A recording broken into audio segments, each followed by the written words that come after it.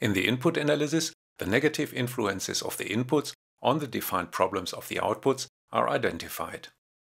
In the process mapping analysis, we will do the same for the negative influences of the activities.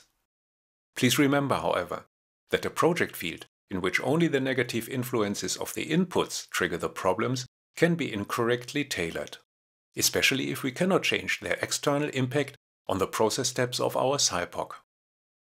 The SIPOC would have to be shifted upstream so that our critical inputs become the outputs of the upstream process steps. In input analysis, we focus on the external inputs of the SIPOC, specify our requirements and deviations from the requirements, and evaluate the frequency, how often these deviations occur. In the SIPOC, the process bake cookies has already been divided into its core process steps. The inputs of these input process output sequences can come from different sources.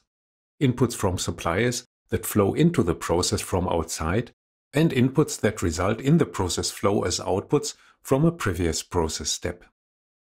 For this input analysis, only the external inputs are relevant.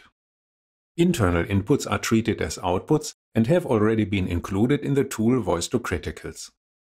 Please note that such internal inputs are presented in brackets in the list boxes.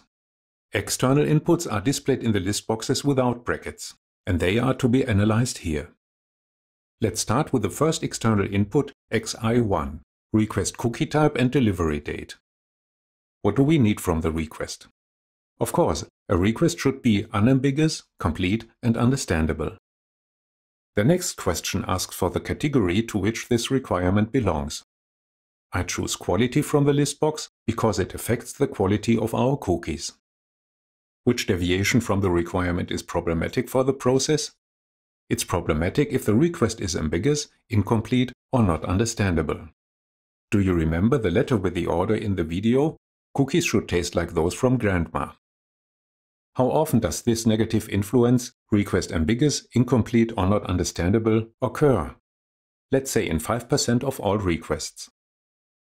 I have already entered three more inputs and their influences. The second input is the start signal. The process requires the start signal to be given on time. This requirement belongs to the category of availability. A problematic deviation from the requirement is when the start signal is given too late or too early. And as our baking experts say, this happens in 10% of the cases. The third external input is the tin.